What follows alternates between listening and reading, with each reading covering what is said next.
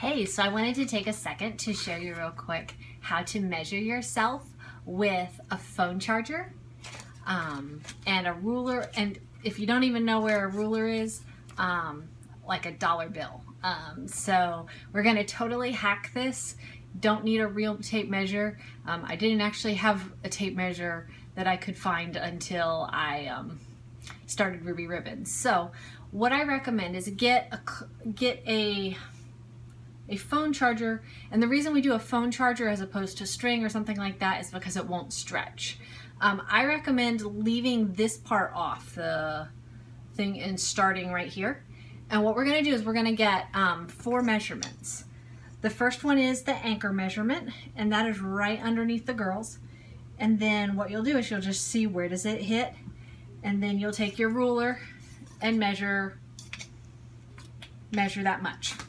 Then the second thing we're gonna do is we're going to go, we're gonna get the bust.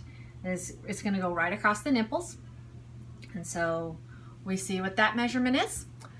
And then the third measurement that we're gonna take is the waist measurement, which would be right across your belly button. So right here.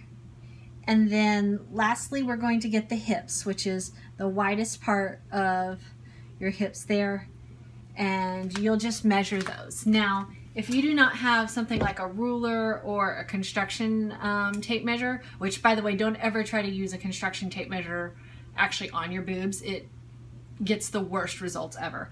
Um, you can do something with a dollar bill. Um, if you look right here and you fold down the one of the margins on the front side of the dollar bill, like this.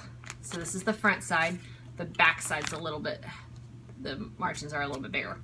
Um, but if you do that, this is six inches. This is exactly six inches. And so you can use that um, as your reference point as well. Um, this is going to get you close enough to give me the information I need to measure you and uh, look forward to sizing you.